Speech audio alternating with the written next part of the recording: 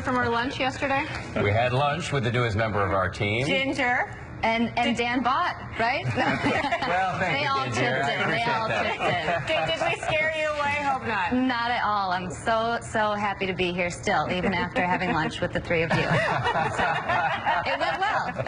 we were telling our deepest, darkest secrets yesterday at lunch, but glad you're back, Ginger. We had a great time. I am too. And in the meantime, the upper uh, plains, the northern plains, had their first significant Covered from her. of the season, and it was not nice. They had accidents, even one death, lots of folks off the road. The first one's always a problem, but when you get three to yes, even 12 inches of snow just north of St. Cloud, it's going to be an issue. That video was from St. Cloud where they got six inches. So behind it, cold air, and in it comes, you see 18 Minneapolis this morning, Minot, North Dakota, just a nice five, so single, single digits and teens.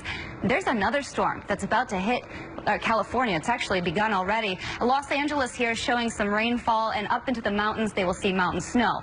That energy going to kick ahead, and severe storms going to pop up and this is not what you want to hear if you're in the southeast, anywhere from eastern Texas through the southeast, exactly where they were hit. I'm going to be talking much more about the travel weather within the half hour, but for now, that's the big picture, and we have to get a check a little closer to home. It's going to be...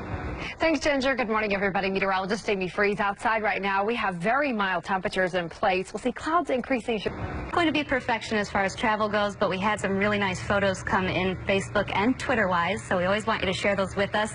Rapid City, one of the areas that had snow not only yesterday, but the day before, too. They're now seeing drifting and all that wind. It's pulling away, so you're going to have a nicer day. Did you see that beautiful picture from Hoboken, though? That was took it beautiful. New York City. Right here in our backyard. It's been really nice in the And- Northeast, aside from a little cool. I just got word from Ron that he's going to pay for dinner. He's got dinner next time around, Got it. so we'll, we'll take the spot. All right, thank you, Ginger. Now to that. Going to be per- Over to Ginger Zee. Ginger. Good morning, Ron. Good morning, everyone. We begin with travel conditions and the spots that you will be most worried about come Wednesday because that's such a huge travel day. In the Northeast, New York and Boston both should see delays. It's going to be because of a wet, and kind of breezy day. Then you're looking at Seattle and San Francisco having some heftier delays too. That's on Wednesday. The weather that will create the delays going to be the rain and snow from Poconos back to the north and west. That's where we can expect some wet snow mixing in into the mountains. Down into northern Florida and along the eastern seaboard, thunderstorms possible. So as you're planning your travel this week, the great news for you is come Thanksgiving Day, we really dry out. But here in New York City for the Macy's Parade, all of the uh, balloons and all those floats, going to have some breeze to deal with. So we'll be talking more about travel weather as it approaches this week. But for now, that's the big picture. Let's get a check a little closer to home. Meteorologist Amy Freeze here with your AccuWeather forecast. Today we'll see. Have a great Indiana? one. Can we bring up Yeah. that the image of Tom Cruise Struck in by Surrey again? I mean, we've really watched this girl. Have a They're great. longer on Hudson Bay by the year 2080, so their habitat would be lost. There is an effort going on now to create a kind of a permanent habitat in the northern latitudes where, the, where some of the 20,000 plus Arctic polar bears that exist. It would involve uh, preserving this area in the upper latitudes, and it's called the last ice. This would resist uh, global warming longer. And Coca-Cola Company, they are uh, putting up money to support this research and effort and matching up to a million bucks.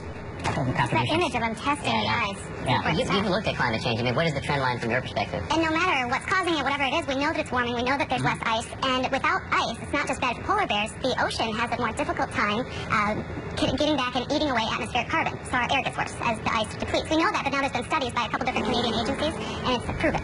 Vicious cycle. And you, you want to uh, try to help the polar bears, you can contribute uh, by going to ABC News or GoodMorningAmerica.com at Yahoo. All right, Ron, great story. I'm very jealous Thank of your you. adventure. Well done. Our animal. In the cold there. Coming up, remember Jub Jub, the amazing balancing dog? He's got other skills too. We're going to show you after the break.